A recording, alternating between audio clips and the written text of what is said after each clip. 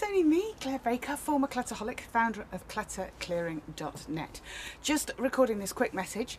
Uh, I thought I'd do it from the garden today because uh, it's a glorious sunny Saturday. I make the most of it while I can uh, because it's been quite miserable this week, uh, weather-wise. Uh, you can probably see uh, Dora uh, who's wandering around the garden as well.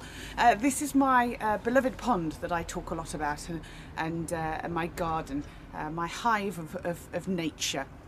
This will be full of frogs uh, come this spring, we'll come back to mate. So any chance I can to, to, to, spend it in the garden, and I, and I, and I will. Um, the reason for my uh, video today is just to let you know that next Thursday, 1st of December, is the next live clutter clearing session that you can join me on. Uh, if you are a clutter community member already, you will be able to join for free.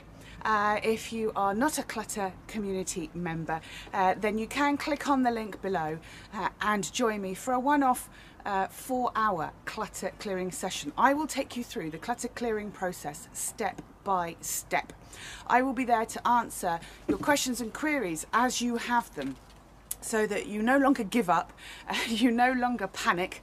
Uh, I will be there to guide you every step of the way. You join me by live video link. So this is recorded, uh, but the live clutter clearing session is a live video link. And uh, the questions you can ask me by typing them in a little comment box, which is below the video. You get all the instructions uh, once you've uh, registered to join and booked your place. Uh, and together we will make sure that by the end of that clutter clearing session, you have cleared some clutter and you have uh, experienced how to make decisions safely using the clutter clearing process. I will give you the seven most commonly chosen categories uh, that people use uh, in their first clutter clearing session. So, although we won't be out here in the glorious sunshine, even though it's a bit chilly, uh, we won't we won't be in here. We will be in uh, my office, and we'll be joining one another by live video link. But it would be lovely uh, for me to be able to give you the experience of a clutter clearing session before Christmas and who knows uh, you might actually want to do some more uh, between now and Christmas just so that there's a little bit less clutter in your home uh, for the big day.